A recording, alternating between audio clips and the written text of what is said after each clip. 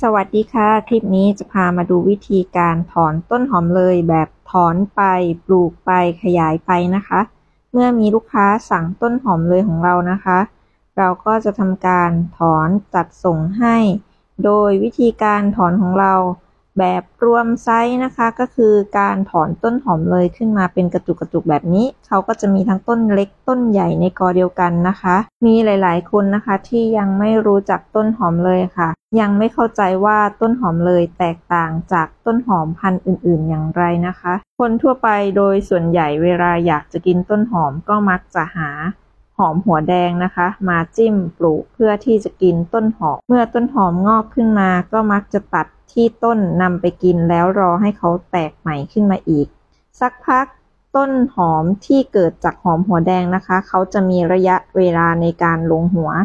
เมื่อถึงเวลาที่เขาจะลงหัว เขาก็จะทิ้งทั้งต้นและใบค่ะ เพื่อที่จะลงหัว หลังจากนั้นเราก็จะต้องเก็บหัวเขาขึ้นมา เพื่อ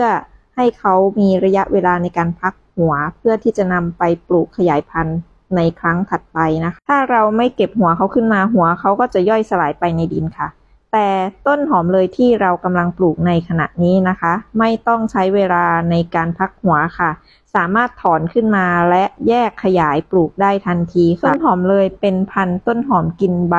โดยเฉพาะนะคะ เหมาะสำหรับคนที่ชอบกินใบหอมหรือต้นหอม หรือสำหรับร้านอาหารที่ใช้ต้นหอมบ่อยๆ ค่ะ ต้นหอมเลยเป็นพันธุ์เดียวค่ะ ที่ปลูกสำหรับกินใบ ปลูกแล้วไม่ลงหัวสามารถปลูกได้ทุกฤดูค่ะ ขยายพันธุ์โดยการใช้ต้นสดปลูกแบบที่เราปลูกให้ดูในขณะนี้นะคะ เมื่อลูกค้าต้องการพันธุ์ต้นหอมเลยนำไปปลูกเราก็จะถอนสดแบบนี้เลยค่ะ หลังจากเราถอนแล้วเราก็จะขยายต่อเพิ่มไปอีกนะคะ เป็นวิธีการถอนไปปลูกไปขยายไปนะคะ เป็นพันธุ์ต้นหอมที่ขยายพันธุ์ง่ายมากๆค่ะโตไวแตกต้นได้ดี ปลูกได้ในทุกภาชนะและปลูกได้ทุกฤดูค่ะ หลังจากเราถอนส่งให้ลูกค้าแล้ว เราก็พรวนดินในกระถางเดิม แล้วสามารถถอนตรงไหนที่เขาแน่นนะคะนำมาขยายปลูกแบบนี้ได้ทันทีค่ะ โดยที่ไม่ต้องรอเวลาในการพักหัวนะคะ นี่ก็คือข้อดีของต้นหอมเลยค่ะ ซื้อพันธุ์เพียงครั้งเดียว แต่สามารถขยายกินไปได้เรื่อยๆ ตลอดไปเลยค่ะ หลังจากเราปลูกเสร็จแล้วก็อย่าลืมรดน้ำนะคะ ข้อดี และข้อแตกต่างของต้นหอมเลยกับ